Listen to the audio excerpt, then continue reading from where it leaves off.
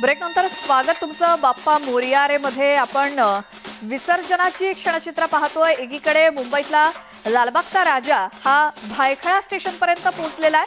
आणि कार्यकर्त्यांनी सांगितल्याप्रमाणे साधारण संध्याकाळी स- पाच वाजेपर्यंत गिरगाव चौपाटीवरती पोहोचेल अशी अपेक्षा आहे. दुसरी दृश्य आहे ती म्हणजे पुण्यातली जिथे गुरुजी तालीम म्हणजेच मानाचा तिसरा गणपती विसर्जित केला जातोय.